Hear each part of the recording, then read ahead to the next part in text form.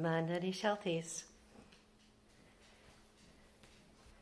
Number two video of the day. They were just waking up.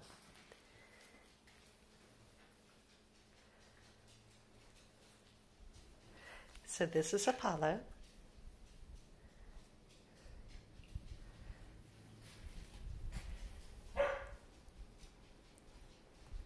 Athena. And Hera.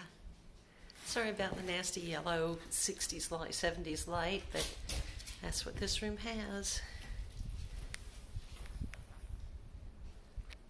Look at that. There's Miss Pippi with her babies. Miss Pippi is an excellent mom. She keeps it very neat and tidy. Very neat and tidy.